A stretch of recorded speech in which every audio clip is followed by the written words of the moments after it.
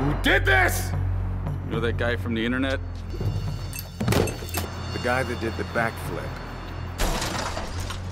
and knocked himself stupid with the hair.